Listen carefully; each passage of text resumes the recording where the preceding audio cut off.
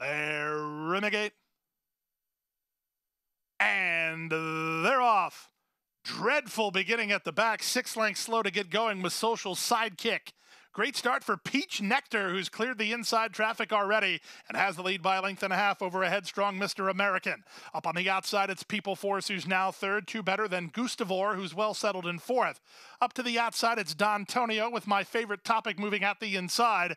The favorite Super Silver Dollar is lingering toward the back of the field. Ahead of him are both Etretat and Cyclone Ranger. And after a terrible beginning, the trailer is Social Sidekick. And the run around the first turn, Peach Nectar clear and tugging leads by two. People Forces there second. Mr. American is in the blue colors third at the fence. It's a length and a half to Gustavor, who races in fourth with my favorite topic fifth. D'Antonio is there sixth. Up on the outside seventh is Cyclone Ranger.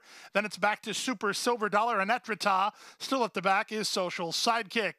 The quarter time was 23 and 3. The half mile was 47 and 4. Less than half a mile to go with Peach Nectar in front from the outset. Maintains a length advantage over People for a second.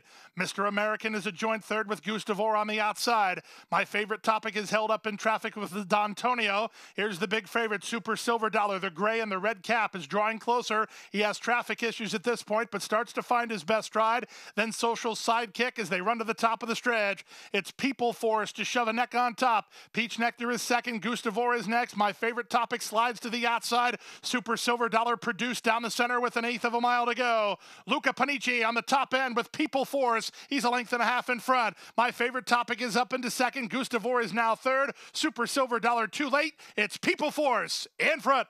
People Force by two and a half. My favorite topic second. Gustavor third. Super Silver Dollars fourth in 141 and four.